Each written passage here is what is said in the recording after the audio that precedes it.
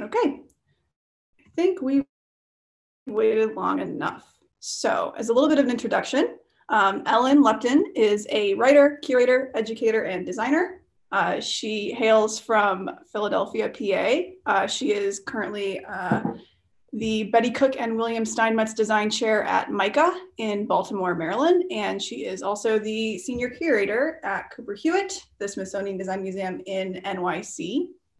Uh, Ellen makes design smarter. If graphic design has a sense of its own history and understanding of the theory that drives it and a voice for its continuing discourse, it's largely because Ellen wrote it, thought it, or spoke it.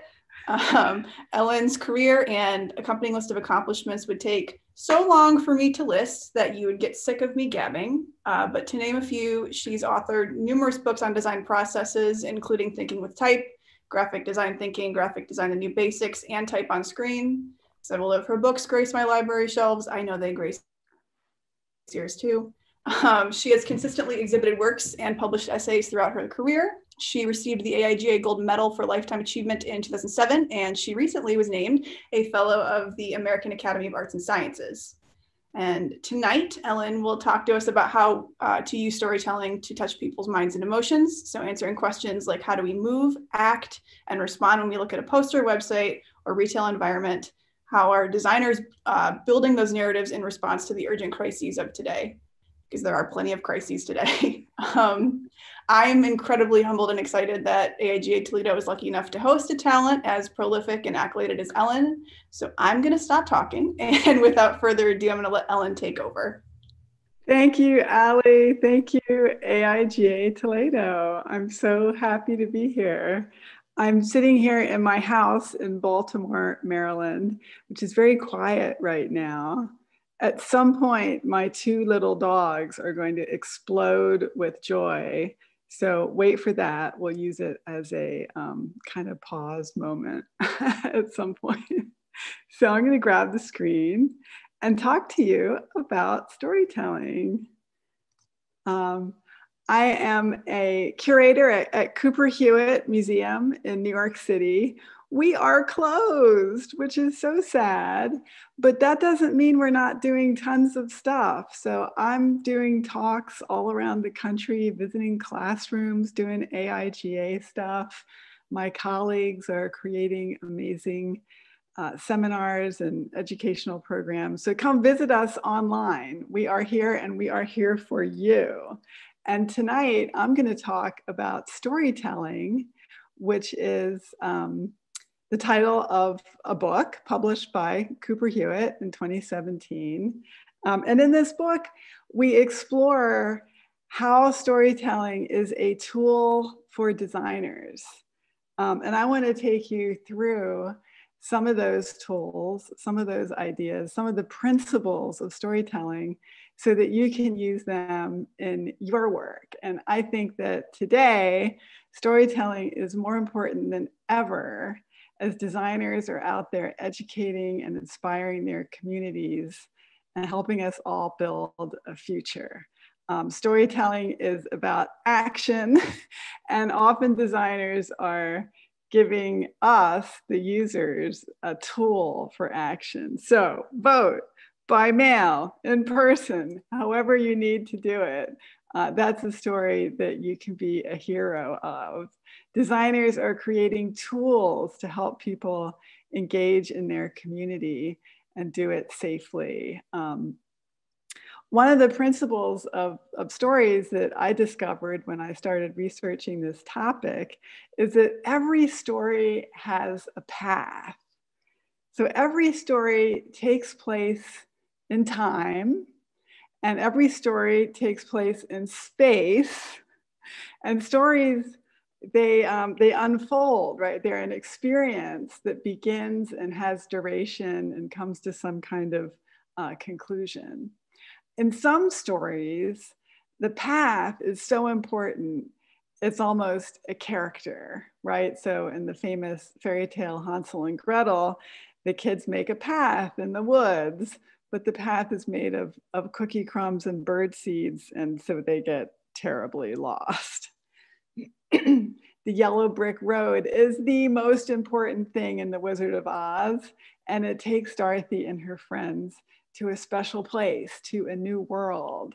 Uh, and often we as designers are inviting users and the public to enter a world, right? To open a book, uh, to download an app, uh, to read the text in an exhibition.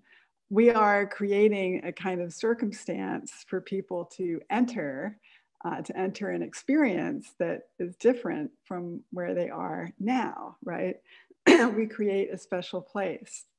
One of my favorite movies is Mad Max Fury Road, and the road is one of the heroes of the story right? The road is what is taking uh, the heroes and their friends um, on this adventure uh, to what they hope will be a better place. Um, here's a very ordinary road and a very ordinary picture, and nothing's really happening in this picture. But because there's a path through the woods, I feel invited to enter. I feel like I'm going to go someplace. And so, something for you to think about in your work is are you creating that point of entry for a user, for a reader, for a viewer? Right? We want to invite people to enter a scene and do something, to engage in some kind of action. These are all pictures of big forests. And if you Google big forest, you will get pictures like these um, because these are the kinds of pictures that people like. and even though nothing is happening in any of these pictures, there's no wolf, there's no little kids getting lost, there's no wicked witch. There's some kind of intimation of narrative. A really big tree, two trees having a conversation, a waterfall, a path, a brook, light filtering uh, through the leaves. So all of those things invite um, invite a user to begin an action, to go someplace. This is a poster from the collection of Cooper Hewitt Museum, and it's by E. McKnight Kauffer from the early 20th century. Artists have always known to make that path. Um, and if we follow the path into this beautiful parkland, we are rewarded with sunlight and shadows and baby mushrooms. This is another poster by E. McKnight Kauffer, and it's from 20 years later. And now he's a modernist. Now he's a futurist. But in a way, the concept of the poster is the same. There's a path, and the path is leading us to the future. The future is a motorcycle.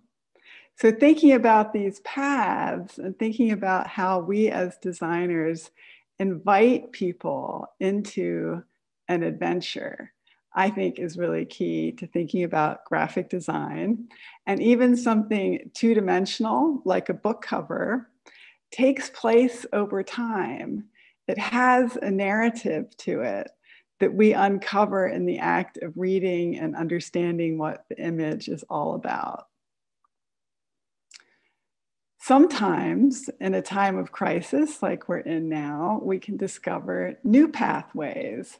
This is a beautiful graphic by Giorgia Lupi, and she's talking about how cities all around the world have closed themselves down to traffic and created new ways for pedestrians and cyclists to make use of the city, to create new paths through the city. This is another graphic by Giorgia showing the incredible heroic migration of healthcare workers to New York City during April. And people wanted to be there, they wanted to go there uh, and help confront this terrible danger facing humanity. Um, this is a, a, poster in London by Yinka Ilori. And to experience this mural, you walk past it you have to experience it over time. And in so doing, you discover this optimistic uh, message. Lots of designers are making proposals for new pathways in public space to help people be outside and be together, but keep their distance. And a lot of these are just um, renderings, they're just concepts, but some of them have actually been produced. This is a beautiful design in a piazza in northern Italy. Uh, and the designers created this grid of squares that are painted with temporary paint uh, in the town square to allow people uh, to, to use the public space uh, and use it safely. And essentially, it's graphic design applied in an architectural way to the city. Um, and in order to explain it to people, they posted around town these wonderful, just wheat pasted, uh, simple posters that explain the geometry and the concept of the piece. And what I love about it is that the squares are in a gradient. They're not all the same, and they really relate to the history of, of Renaissance painting, um, the history of uh, linear perspective that was born in this part of the world. In New York City, Paula Scher created these graphics in the beautiful Highline elevated park a wonderful public place that now you need a ticket to go there. They have to uh, sort of hold back the number of people using the space. And her beautiful pattern of dots helps people to keep their distance. Um, so I'm inspired by what graphic designers are doing in response to what's happening in our world and creating new paths, new breadcrumbs, uh, new lines, new, new ways of navigating a world that has quite suddenly changed. The arc. The designers, um, well, actually, novelists and, and playwrights and screenwriters talk about stories as having an arc. So a story begins quiet. The hero gets a challenge, the hero tries to solve that challenge. And as they rise in action, they reach the top of the arc. There's more and more energy stored up, and we have the climax. And then whoosh, they come down the other side, and the action is complete. Um, and that kind of arc exists all through life, all through nature. Uh, when you're hungry, you start feeling uh, some desire, some interest. Perhaps you smell the falafel cooking. Then you finally get to eat it and you're in the moment and it's happening. The story is there. And then whoosh, suddenly you're done. You just feel awful. You're complete. And so that sense of an arc that begins and rises and completes is really essential to storytelling. It's something we find in sexual activity. Sometime I want to call up this scientist and say, What is it with those two mountaintops? What do you know that I don't know? um, but this sense of, of energy and completion is something that human beings really love. Um, in design, we often translate that into three steps, um, sometimes four steps. So that rhythm of beginning, middle, end is something that uh, people are very comfortable with. It's a way that they can make sense of a complex um, process. It's a way to invite people uh, into a process that they might not understand yet. So we see that pattern of three in a lot of websites and apps. We see it in fairy tales, three steps, three wishes, three choices, three princesses. Um, you can download templates that help you turn whatever process it is that you have into three easy steps. And of course, that requires editing. It requires eliminating what isn't important. It requires simplifying. It requires finding the beats, finding the three high points that make people feel like they have that sense of completion, beginning, middle, end. One, two, three. This is from the Blue Apron website. They've been doing very well as people hole up in their houses and teach themselves how to cook. And Blue Apron will send you a box of groceries, um, a true miracle. Um, and on their website, they use these beautiful, whimsical illustrations and this very simple narrative text to take people through this process and reassure them that this is a story that anybody can master. So, one, choose your meals. Two, unpack your box. Three, create magic. Um, that's the whole part where you actually have to cut the food and cook it and eat it and do the dishes. and they simplify that into this one step. Um, I accept it. It's a fiction, it's a story. And it's a story that entices us to enter this world and try it out. Um, this is a beautiful graphic for social distancing. And the designer has chosen three characters. Um, that number three makes the story accessible, it makes it understandable, it gives it a sense of wholeness and completeness. So, looking at that number three can be really helpful in your work, especially when you're trying to explain something complex and something that takes place over time. I also want to talk about emotions because stories engage us emotionally they take us somewhere emotionally. The great postmodern novelist Kurt Vonnegut had a theory when he was in graduate school that every story could be graphed as an arc between ecstasy and misery. There's another kind of narrative arc, but it's one based on the degree of pain experienced uh, by the principal character. And these are some of his, his diagrams. Um, so a man in the hole, it starts out okay, the man finds in a hole, terrible, and then he gets saved and everybody's happy.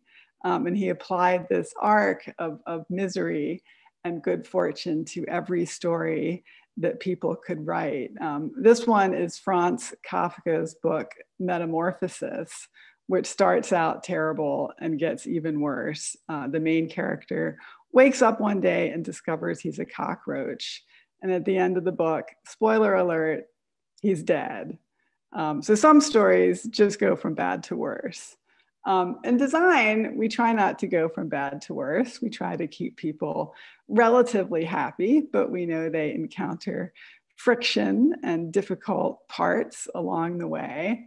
And so user experience designers have actually adopted Kurt Vonnegut's theory of the emotional roller coaster of storytelling to analyze the user journey. Um, where do users in, encounter friction? Where are they satisfied? Where can we give them rewards? This is a beautiful illustration by Carles Garcia O'Dowd describing the kind of user journey of being trapped in your apartment during quarantine.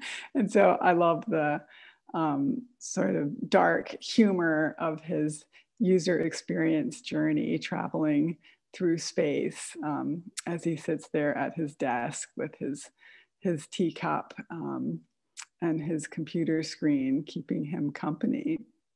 So let's try to apply the idea of the uh, emotional journey to Cinderella. And let's imagine that Cinderella is a customer experience. Okay. So at the beginning of the story, Cinderella is miserable. She has nothing to wear. She can't go to the ball. So what does she do? She downloads the Fairy Godmother app. Wouldn't you? And this is fantastic. It is a great product, and she is a happy customer. She loves the crown, she loves the dress, she loves the carriage. There's just one problem curfew. She's got to leave the party by midnight or else. So Cinderella's at the party. She's having a wonderful time and it's getting to be close to midnight. And she runs down the steps to the parking lot. One of the stupid glass slippers falls off. And right then, at 11:59, what happens to Cinderella? Surge pricing. Nobody likes that. Buzzkill. Bad news. She's not happy anymore. So the designers back at fairygodmother.com say, what are we going to do to get our customer service ratings back up? So they create a new feature called Lost and Found. They violate Cinderella's privacy. They go to her house with that lost glass slipper. Best thing is, they make the driver pay for it. And we all know what happens when Cinderella gets her shoe back. Yes, that's how the story ends happily ever after. So, as designers, we can think about making an emotional connection with our users. We have to understand that sometimes the emotions are powerful and positive and fun. Sometimes people have to wait. Sometimes we have to warn them. Uh, sometimes the emotions that we're dealing with are mixed and complex. So, how do we make emotional connections with people? Um, you see here on the screen a poster for recognizing the symptoms of COVID 19 published by the Centers for Disease Control. And I would say that this poster is trying to eliminate as much emotion as possible from this topic, right? The people have no facial expressions, they are completely blank, they are not worried or concerned, um, and neither should we be, right? And, and perhaps that's appropriate, right? The CDC should be keeping people calm and sharing rational information. Um, I want to show you, though, a completely different approach to the same problem. This is by the great information designer Mona Chalabi. Um, and she decided to represent these symptoms in a way that is emotionally rich, um, that is uh, funny and a little bit scary, um, and touches people where they live, right? Uh, she's attempted to uh, make this subject uh, realistic, raw, human, but also approachable. Now, would a government publish that? Probably not. but it's a really beautiful piece of emotionally connected public information, right? Public communication. This is by the Spanish furniture designer Jaime Hayon, uh, and it is my favorite social distance graphic. Uh, it takes a subject that we um, associate with negativity, with separation, and makes it social. These two birds are there to be together. They just have to keep their distance.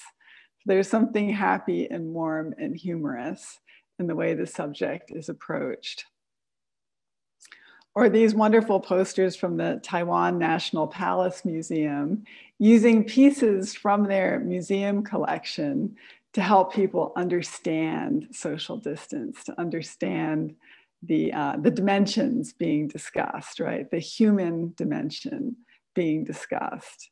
Um, and I think these are uh, playful and warm and fun and connecting. Um, that.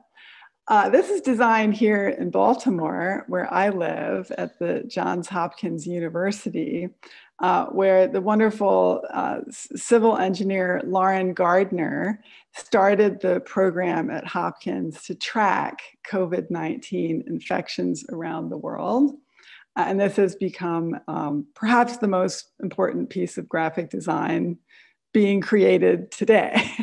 Uh, and she uses the color, she and her now a big team, use the color red uh, to, to show the spread of the disease. And that gives the graphics an emotional intensity. And in fact, she's come under fire from some people on the right for saying that it makes the graphic too alarming. Um, I would say that she uses color quite intentionally here to convey the seriousness of the content. The hero's journey. So we've looked at arcs, we looked at waves, We've looked at curves. Now let's look at a circle. So the hero's journey is a classic structure in literature and fairy tailing, fairy tales and epic poetry, in which a hero begins in an ordinary world and they are invited to leave on an adventure. And that adventure takes them to a new world. It's often called the green world. It's a magical place, a dangerous place, a place very different from where they came from. And then they leave, they return home, they go back to the beginning, they cycle back to the beginning, but now they're changed, they're transformed. And so many stories take this pattern uh, the story of Ulysses, the story of Dorothy and the Wizard of Oz, right? She literally goes to a green world and then ends up back in Kansas. I never quite understood that part. Why does she go back? I would have stayed in Oz, but she goes back. There's Mad Max Fury Road, where the hero leaves the, the devastated city, this autocratic city where she lives, and she, she goes in search of a green place where there um, things are growing, where it's verdant, where there's agriculture. And she gets there, and that place is already dead. But the women there give her seeds.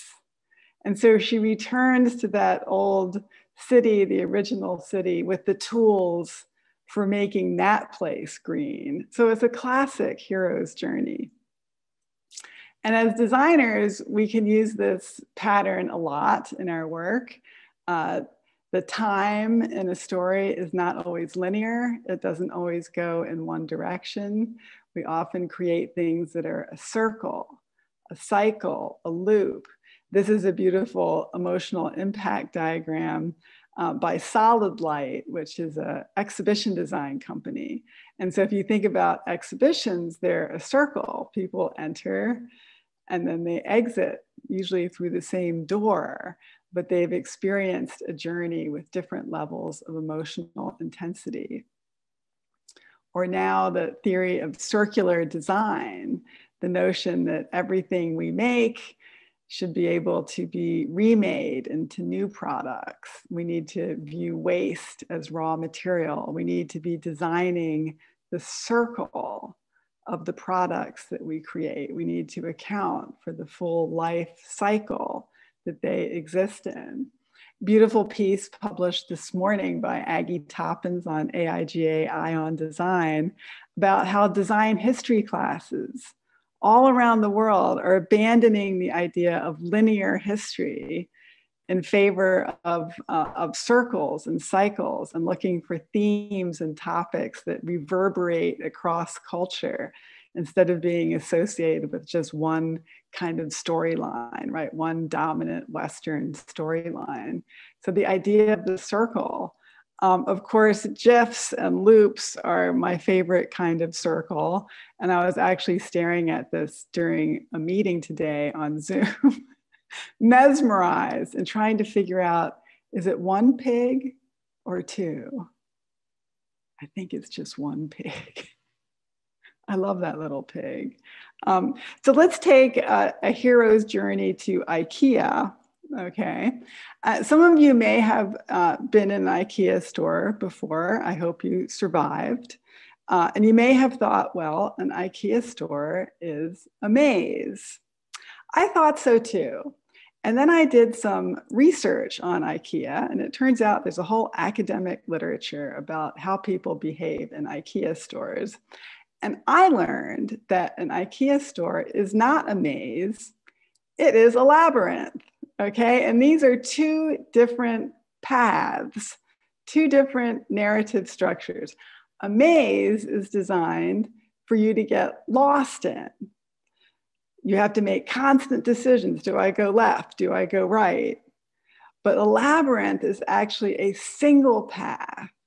There are no choices you are sent on a journey that's very directed. And actually, that's what going to IKEA is like. So you're the hero, you get out of your car, you enter this new place, right? You cross the threshold into a new place where everything is blue and yellow. Um, and you enter on a path, a kind of yellow brick road uh, that takes you through the different stations of IKEA existence. Um, and that path is paved. It's a different material. It has a little border around it to discourage you from exiting the path. It has arrows, it has signs. You don't get lost at IKEA because you're stuck on this route that takes you past all of these events to see, right? These scenarios, these staged uh, presentations of products. And then at the end, when you finally make it through the warehouse and the checkout and the as is department, there is the final hot dog.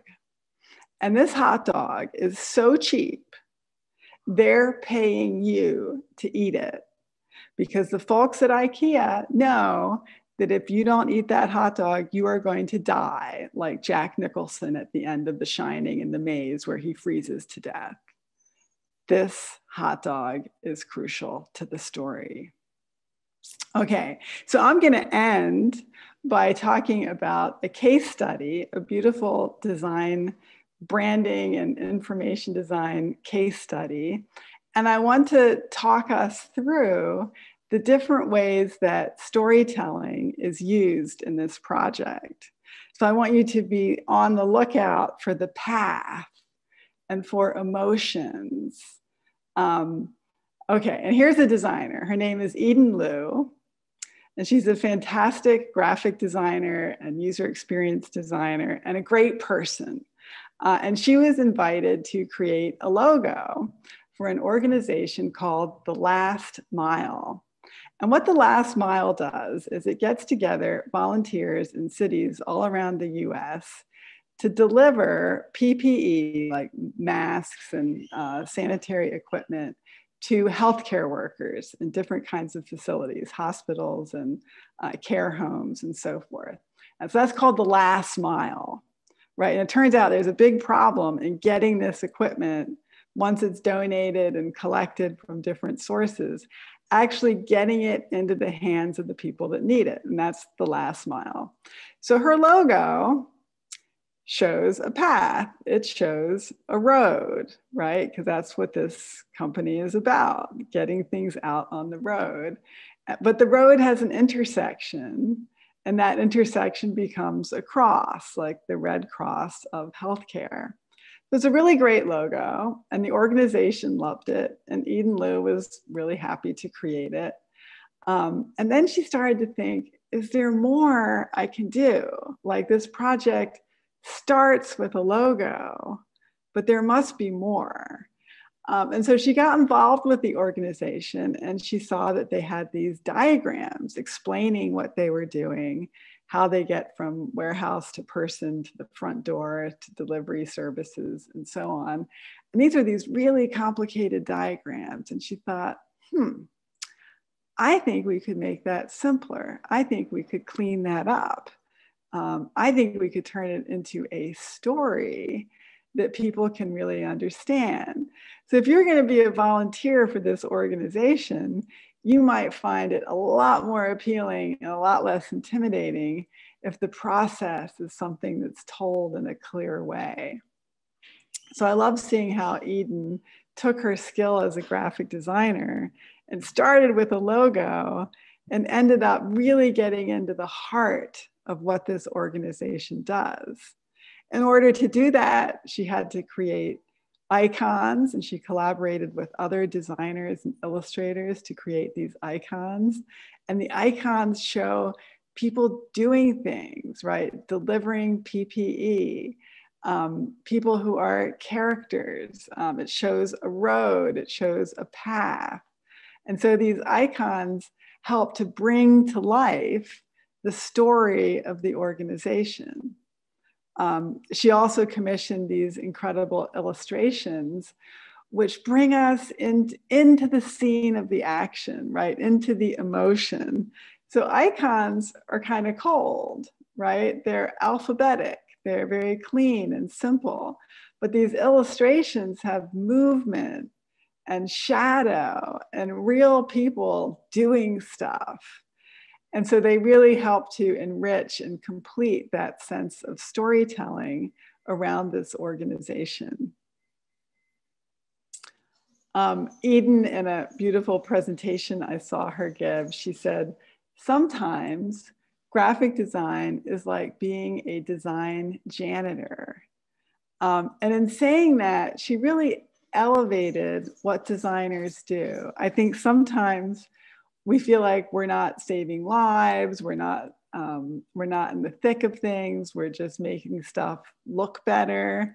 But she proved the designer is actually an essential worker, like a janitor, a person who's keeping things clean, keeping people safe, keeping buildings functioning.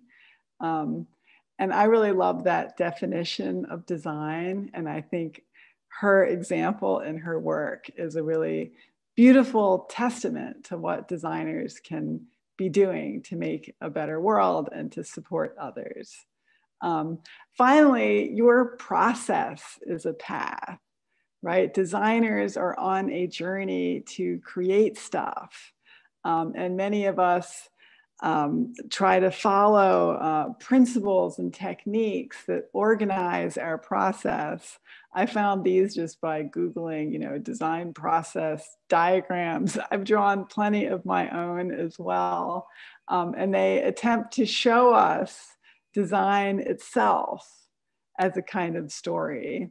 But I'm going to end with one that a, a student at MICA did, uh, kind of a piece of graffiti that they left in a in a group project and in a way um, i think this puts together the way many of us in practice do our process. And this is some pretty great storytelling um, full of uh, suspense um, and uh, narrative conflict and ultimate uh, resolution. Um, and I'm going to leave it at that as a kind of image of good enough process and what we're all trying to do in, in muddling through the rest of 2020. So um, thank you for coming, and I'd love to have a chat with people that maybe have some questions. Well, awesome. Thank you so much, Ellen, for such You're a welcome. phenomenal presentation. Mm-hmm. Uh, to keep things moving along, uh, I'm going to kick off the Q&A portion of tonight's presentation. Um, so on screen, there's actually a Q&A button that allows you to submit questions. Um, you can submit these questions either signed or anonymously, um, and we will try to work our way through every single one of them. Um, that being said, I'm actually going to hand this over to Allie uh, to get a question of our own answered. I have so many questions, but I won't take up all the time. Uh, so one question I did have, Ellen, and maybe this gets a little too deep too fast. Um, but... Go deep, Allie. it's Ohio. We're counting on you. true. God, so true. Um, I just kind of want to pick your brain a little bit on avoiding bias when like applying the principle of, of story principles of storytelling in mm-hmm you know UX design or things like environmental design. Um, I mean, is that something that you just kind of have to remind yourself of? Is it something that's already built into kind of these pre-existing, you know, tropes that you know you kind of touched on? Yeah, I mean that's very interesting. You could say that all of these, uh, all the patterns, right? UX is full of patterns, and you could say that all of those patterns, because they pre-exist, um, have the potential to have bias in them. And so I guess you could say any question should be, any pattern should be uh, questioned. Um, yeah. You know, stories uh, often use types, right? They assume that the hero, the hero is a man and the you know person being rescued is a woman and that everybody's white.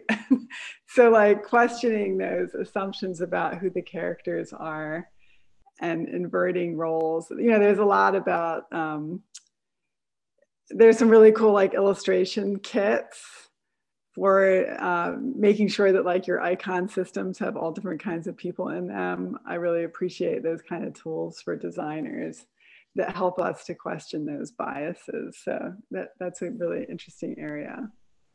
Yeah, I think it's it's interesting also um, kind of thinking about that in relationship to i'm assuming maybe unfairly so in your design career there's been at least evolutions or shifts in how people think about just the concept of design. I mean, it's gone through several, you know, evolutions and and there have been many people who have touched it and shaped it in some way. And I guess like do you have you seen like this concept of design storytelling as something that evolved out of, you know, other research? Is it something that's just kind of always existed in maybe like a different namesake for you? Is it something that I think it's really become um, super important because of design being so much more digital. And that I think, you know, when I was growing up as a designer, our work was 2D. And so there was this emphasis on like um, composition, you know, symmetry and asymmetry and balance and, and figure ground which are actually all temporal ideas. So, like, mm-hmm. even looking at a two dimensional design is a temporal experience. You know, your eye is moving around and making judgments and discovering things, right? Reading is temporal. But I think because today so much of what we do is creating uh, tools and experiences that people must um, uh, unpack over time, storytelling has become uh, more visible right? And and more um, more i think it's always been there but it's become more essential.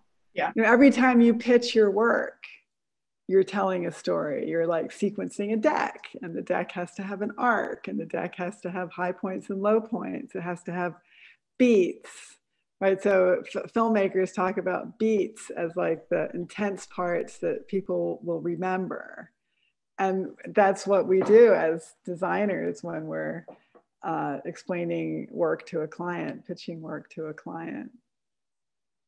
Yeah. And I think those skills have become foregrounded in a way that when I was in school, nobody talked about pitching work. Right. It was right. all just about the, the object that you were making and not the experience around it. Yeah. So it was really about experience design being everywhere, you know. Yeah. All right. Well, I'm going to kick us off with our uh, our first attendee question.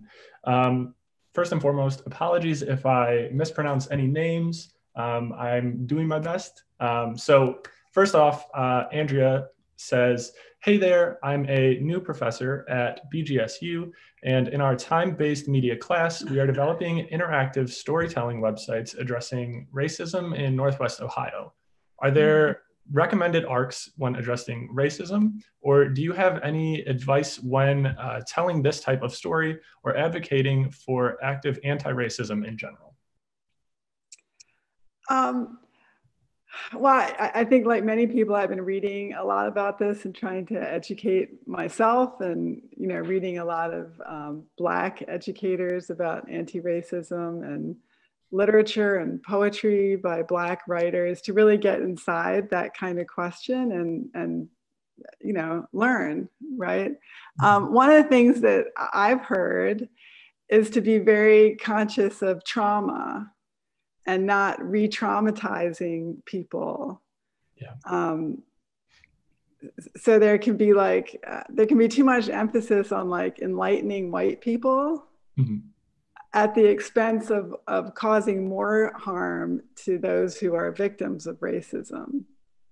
So um, that's something I would just be conscious of um, to the questioner about, you know, t- telling stories that don't always cast uh, Black people or Indigenous people or people of color as victims, you know, and not, not always you know, I think that's really important to address uh, trauma. Absolutely. All right. Well, oh, so many questions coming in. All right, let's see. Um, so we have another question. Um, anonymous, uh, they start off with, thank you. What a wonderful presentation. Um, can you talk about how you get permission or not, um, fair use, to show all these fantastic examples uh, to tell this story so visually? I love your book and love this presentation. Well, a lot of the examples in my presentation are from my book. And all of those I get permission, you know, to use. Uh, some of the examples, you know, I've redrawn and recreated, like uh, Kurt Vonnegut's um, charts. Mm-hmm. Um, when I'm giving a presentation, I, I confess I don't get permission for every single image. I just try to give credit. Um, yeah. these are things that are out in the culture, and I'm not claiming that I created them. I'm a commentator, uh, sharing them and making a new narrative or new argument with them. Um, I just do my best to uh, to credit all the creators. I well, think Vonnegut would be okay with it. I, I, I hope so. Sometimes I show a video of him talking, which is really fun too. Awesome. So another um, anonymous question uh, starts with, thanks, Ellen. Which one is by now the most effective storytelling design you think you've done? That I've done? Oh my goodness. um, well, I'm a writer. Uh, so I create books about design. And I think one of the things that distinguishes my books is that I really want them to be tools for my readers. They're not about, um, in, you know, uh, improving people's knowledge. It's like, I really want my books to be useful. And that really gets at the core of, of storytelling to me because st- stories are action. And often a story is uh, describing an action, right? The story of the Wizard of Oz or Hansel and Gretel.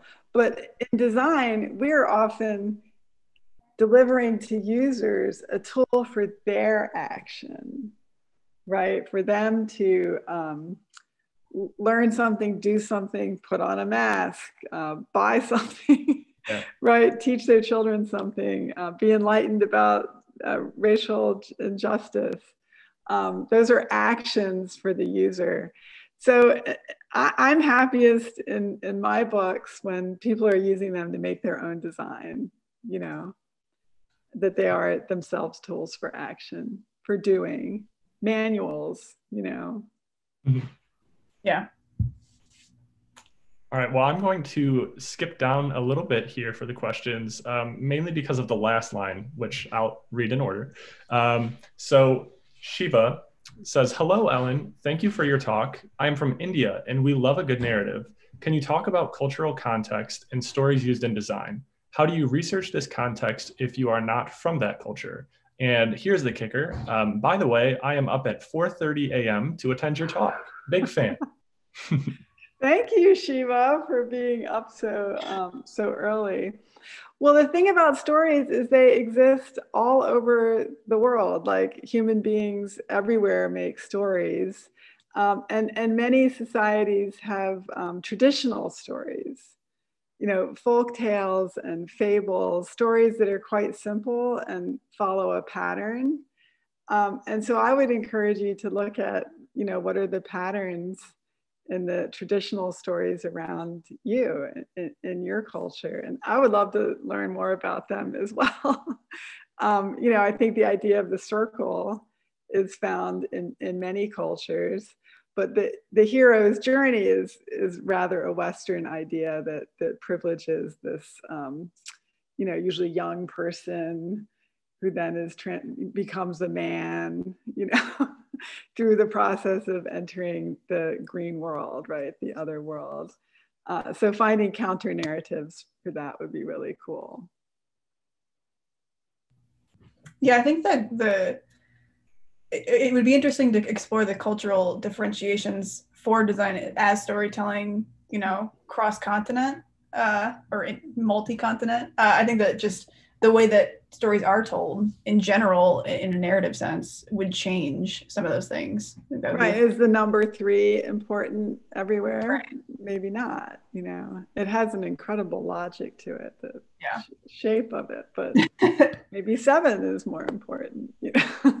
This is a thesis presentation you know, the four corners of the square um, I've got a, a, a, good question here that I'd like to also ask from Francis. Uh, do you have any tips to help pivot production oriented designers into thinking about design more as storytelling? How to get them beyond just ticking boxes? Um,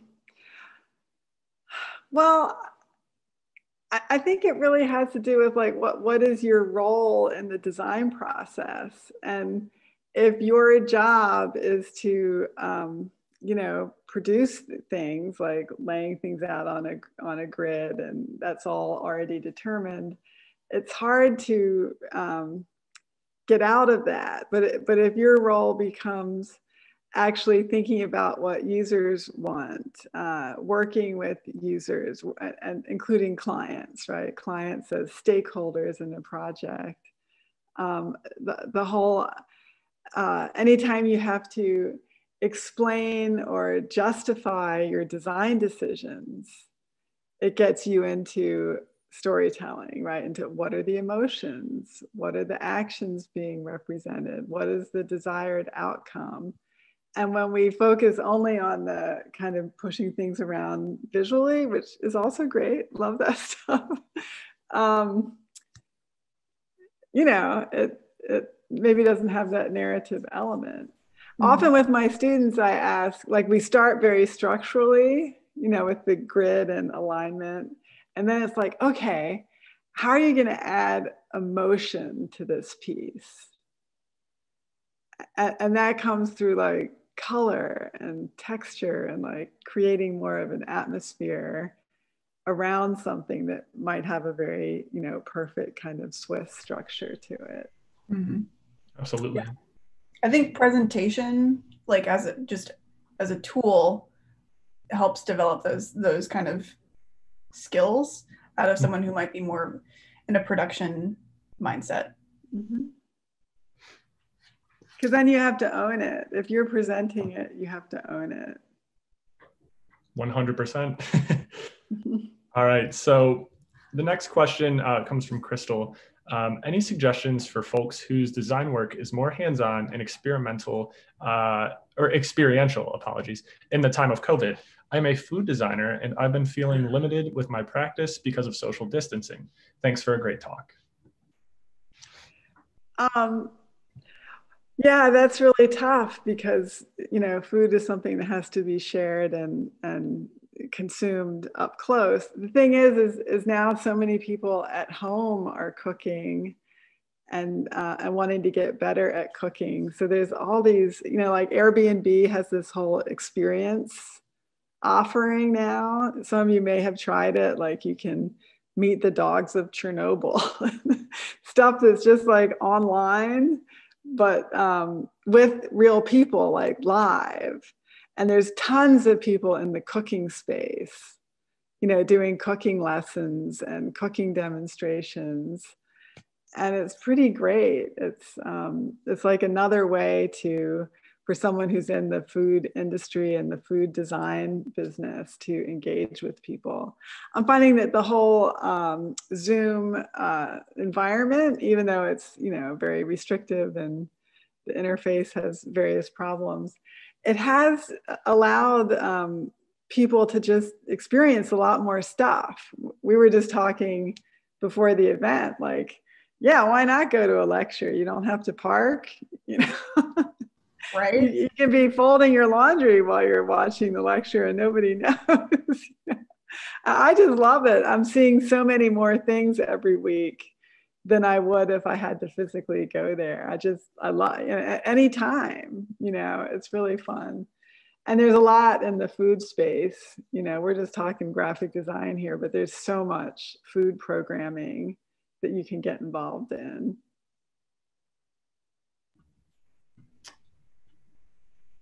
All right. Let me, oh, one second. I've lost my QA panel. Um. I've got one here from, I believe it is Yadira, and I apologize if I mispronounced.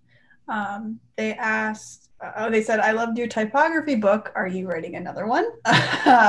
if so, would you explore touching on variable fonts? Yes. So I am working on uh, the third edition of Thinking with Type. So the second edition was published in 2010, which is 10 years ago. It sounds like forever for you young people. for me, it's like, what's another 10 years? so I'm working on a third edition that's going to be a thicker book. It's going to be more global. Um, it, it's going to be more digitally oriented. So some of the stuff in my type on screen book, uh, which is already out of date, will be updated for the new Thinking with Type. um, is going to have, um, yeah, stuff like variable type, which is a new new area, and is is very interesting. Yeah, so I'm excited about that. Nice. Good when I did the first thinking with type, I didn't even think like, uh, where are the women typeface designers? Yeah. There just aren't any in that book. There's graphic designers represented, but I'm going way deeper on the next one. I love it. Well, it's great to know. I'll definitely have to get some more bookshelf space uh, as I'm currently running out. So good to note. Um, the next question, um, pretty big question, I think, but uh, Anonymous asks, what is your simple definition of a graphic designer? A visual janitor. I'll take Eden we keep it clean. well put. Well put. Um, yeah, what is a graphic designer? Um, you know, communicating with image and text. Uh, often in the background, you know, often it's like the format, the frame, the delivery. It's uh, and it's essential.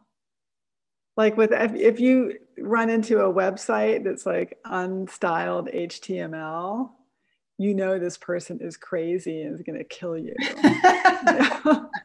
so it's like without design, people can't enter into content. It's like essential.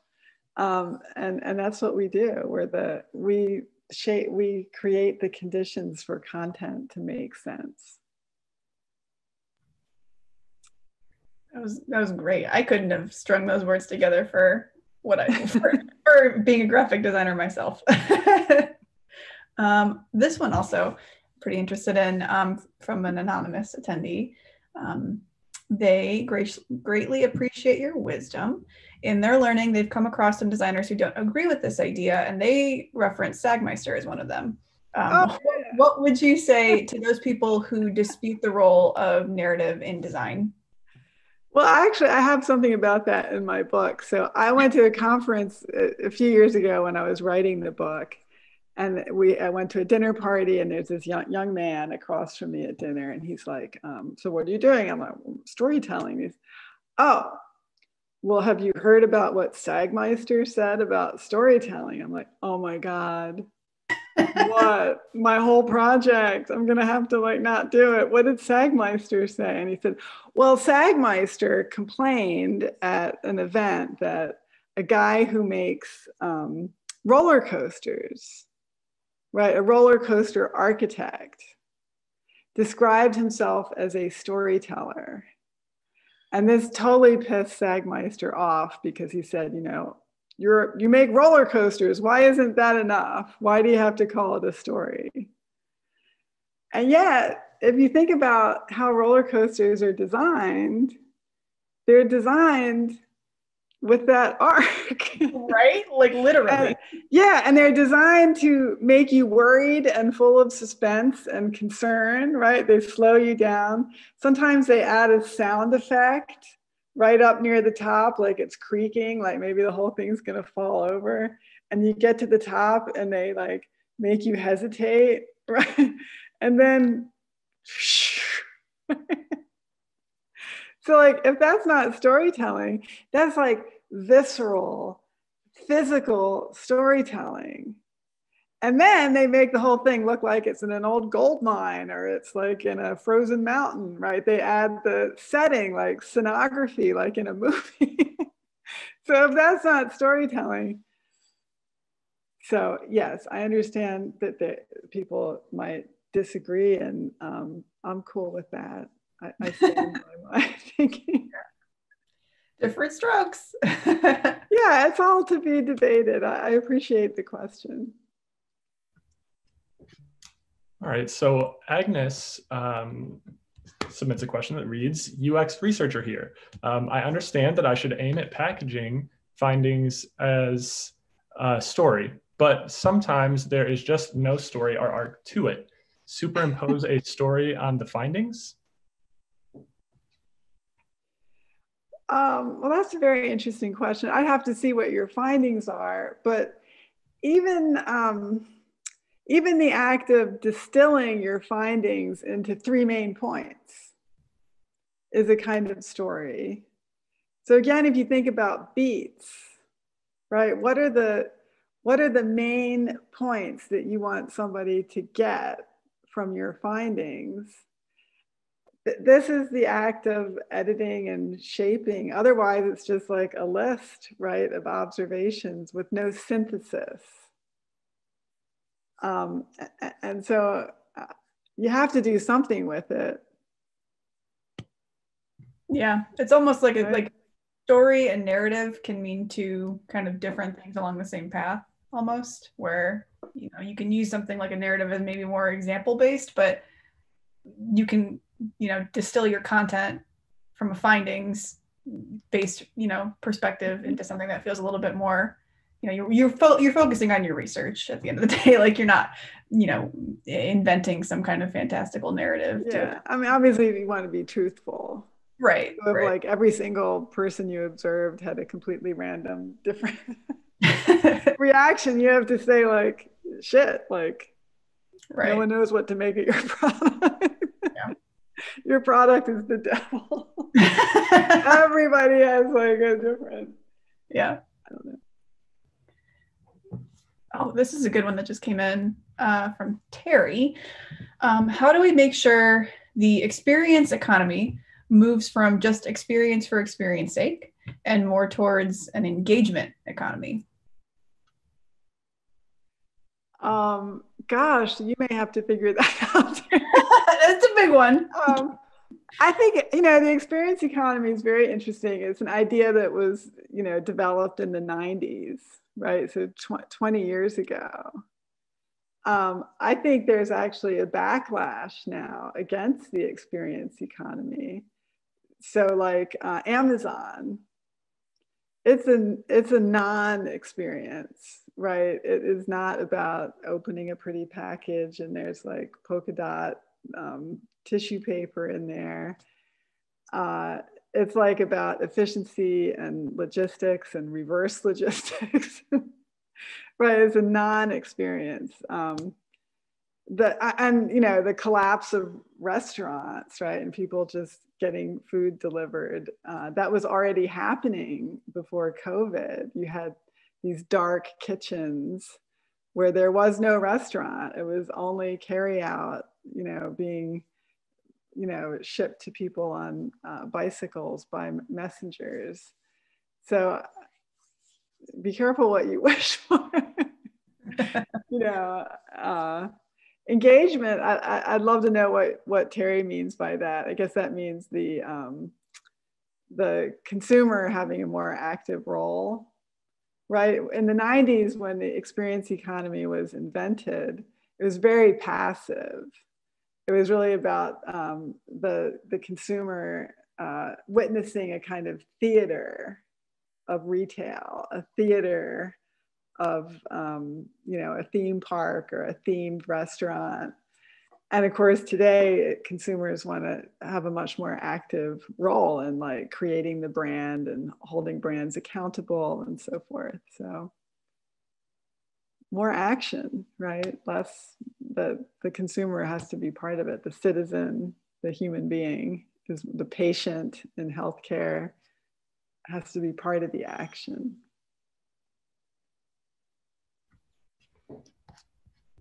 Let's see. Oh, all right. We're back. We're good.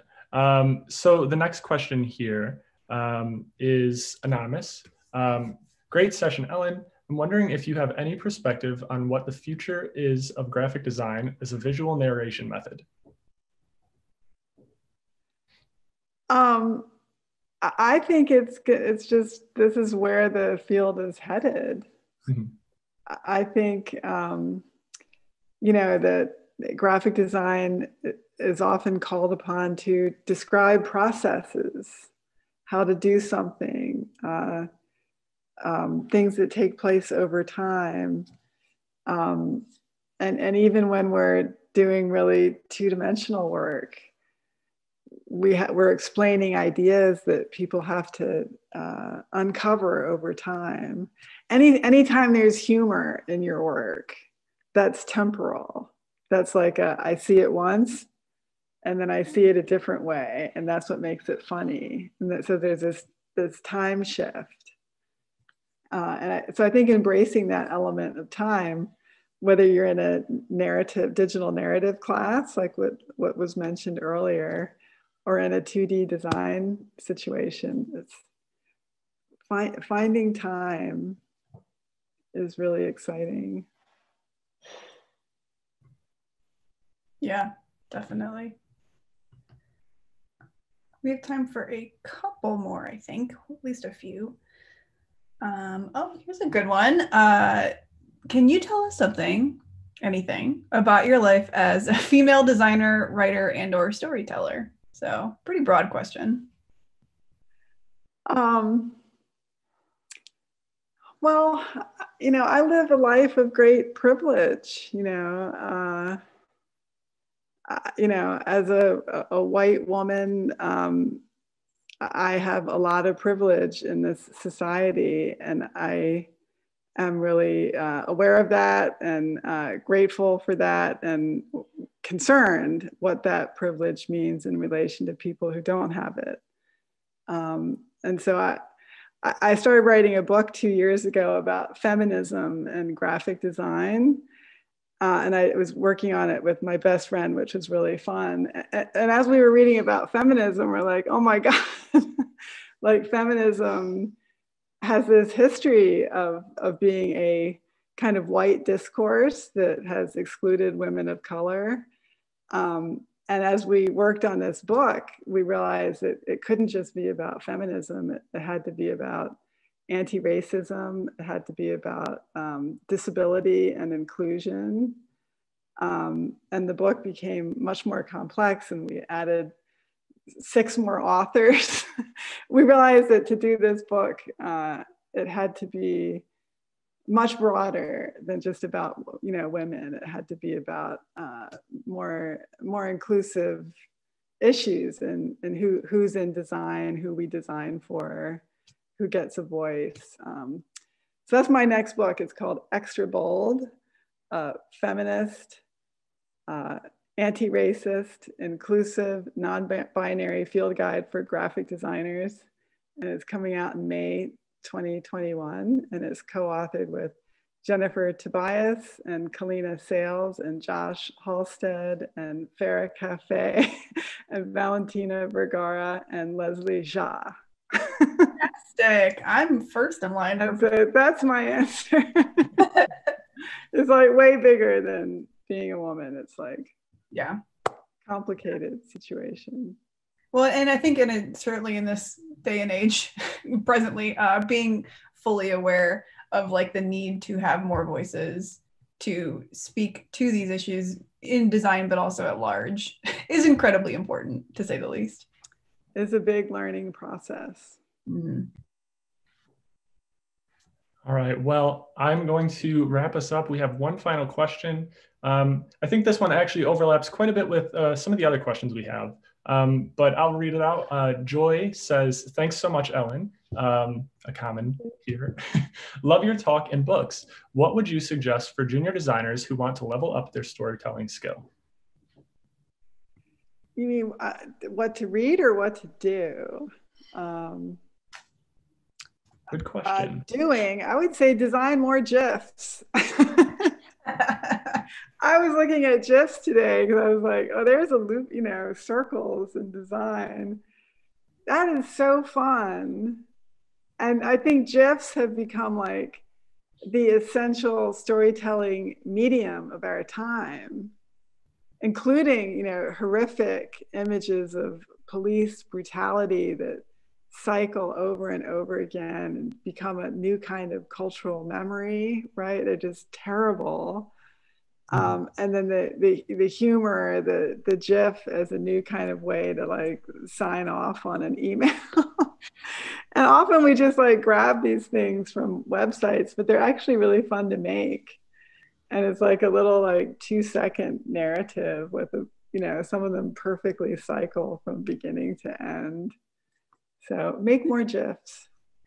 You you heard it here. I think that's a wonderful sign off. All right. Thank you so much. Yeah, of course. It was really fun to be here. Of course. Uh, we were so happy to host you. It was a wonderful presentation. For everybody that's still here, thanks for tuning in. Uh, totally appreciate the questions. I'm sorry that we couldn't get to all of them. They flooded in, uh, but we, we did as we could. Um, I'm trying to think if I have anything else to mention. Uh, definitely follow uh, AIGA Toledo for our upcoming, you know, current uh, event schedule and anything else fun that we're doing. Make sure you follow Ellen on social media um, to make sure that you're keeping up on what she's doing and all of the wonderful publications and books that I'm sure will be coming out very soon. And the one in May, I will be ordering ASAP. Um, and I think with that, we can we can head out. So everybody have a great night, and thanks again, Ellen. Really appreciate it. Thank yeah, you. Thank you. Ohio. All right. Bye. Bye. I love you. Goodbye.